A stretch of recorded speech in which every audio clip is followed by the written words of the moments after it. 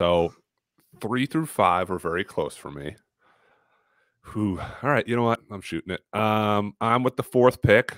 I am taking a surging sophomore from Madison, Wisconsin. I'm taking Johnny Davis. Yeah, I, I typed this one in for you at four like a couple minutes ago. I kind of I kind of knew well, that this was you, happening. You you bailed me out when I said, "Do you want to pick first or second? Because I, I may have taken him third. So it feels. Yeah. Here's my thing with with Johnny: six foot five, uh, combo guardish. I'd say better probably off the ball. It feels like he's had this coming out party all year and he's invited like the draft community to come to it the last three weeks. I mean, he's averaging 23 yeah. points per game. I believe he's third in the nation scoring behind Keegan Murray and Kofi Cockburn. Seven and a half rebounds, 2.8 assists, 1.4 steals. He was MVP of the Maui Invitational. So he has this huge 37 point game on the road versus Purdue, this huge prospect matchup with Jaden Ivey. And some may think, is this this one hit wonder type of prospect game?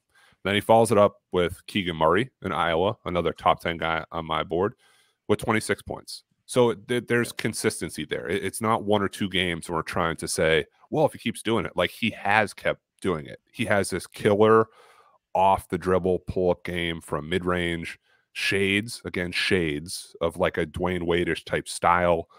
Can hit threes. He, he can mix in a step back or two. The three point shot's getting there. It's still not great not a, a super vertical athlete, and and that said, he can still get to his spots where he needs to on the court. He'll defend. Powerful athlete. Power, powerful athlete, but just not the the pop at the rim where it's like the the Jaden Ivey type posters. You're not really going to get that yeah. all the time. He can in space. Now, when they run an underneath out of bounds where he kind of like curls around, they throw at the rim, he can catch and dunk like no problem. Yeah. I just mean if he has a guy on his hip, he's going to power through and get an and one because he's strong, but he's not carrying you and dunking it too. Right. But you look at you look at some of the top prospects this year and yesteryear, and we point their supporting cast not being that strong. And, and and I argue that his is the strongest. So I asked an NBA scout, I said, is his scoring and his play a byproduct of needing to do all that and the team couldn't succeed without it?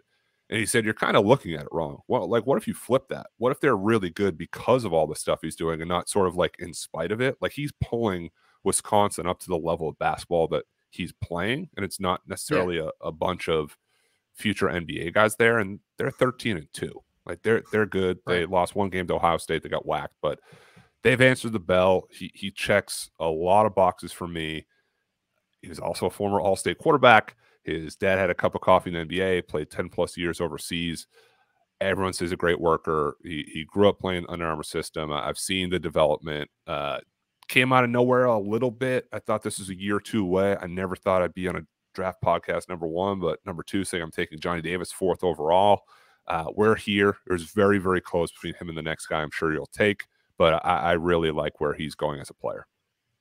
Yeah, it's interesting. So I've talked to a few Big Ten coaches just about Johnny Davis, and they were like, Yeah, we all loved him. We all thought he was an NBA player at some point. We never saw top five, top 10. We've never, I've not talked to a coach that was like, yeah, like we saw him as a top 10 pick at some point, let alone as a sophomore. I, mean, like, we didn't, we, we talked about, it seems like a hundred wings, a hundred bigs, a hundred point guards preseason. Yeah. We didn't even mention them. And, and I've known the kid, like I've known his game for years. And I, I, just didn't think what he averaged like eight or nine points per game or, or something along there. It wasn't, yeah anything monumental. You thought this is a junior year conversation. Maybe it's like an older senior who's who's steady but he he's just like he's he's elevated everything he's done. Everything he's done has yeah. just been th- this boost last year. So uh, I'll bring up the questions here that I've gotten for about him. Okay. Uh, how worried are you about the long distance shooting? Not very. I mean, just just a little bit. When when you see when he has clean catch and shoot looks, it, it's not bad. Like I, it's yeah. it's not not bad shots, and he mixed in a a step back or two and when he gets rocking, when he when he starts in the mid range and kills you with a few 15 footers, and then he took one or two in that Iowa game, I'm like, forget it. This like this is ridiculous. I think I texted you during the Purdue game. I said he's doing a thing right now, and that was in the first half because you see how it leads to his defense and back to his offense and back to his defense, and and he can carry over that. So I, I'm not worried about him shooting from three.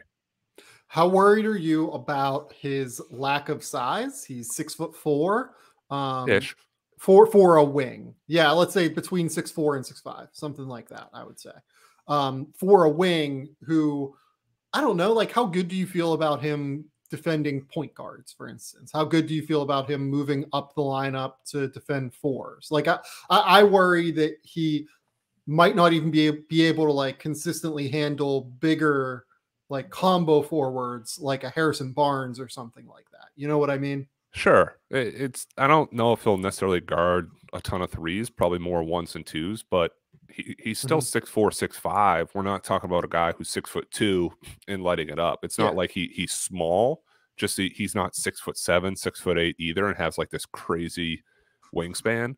But I, I don't when when he does everything else so well, and you've seen enough of the defense where I don't want to say he cheats for his steals and points, but he's smart he's savvy in the way he takes his chances to to make that defensive impact too. Right. Uh, look, I, I, don't think teams will like hunt mismatches against no, Johnny Davis. Exactly. You know what I mean? Mm-hmm. Like, yeah. No, I, am with that. I, I, don't know that he's going to be. Look, he's like a very, very high level defender at Wisconsin. Like, very, very, very good. He's put up a few like elite level prospect games on defense for them so far. Like, you go back and you watch that Houston game. It is one of the better perimeter defensive games I've seen from a prospect this year. Uh, I think he's probably like somewhere in the top, you know, four or five perimeter defensive prospects in this NBA draft. To be honest, I just worry a little bit about the versatility. Yep. Um, he, he's good on ball and contests and fights, and his strength allows him to get through screens. I, am I Johnny Davis at five. Like I'm I'm there.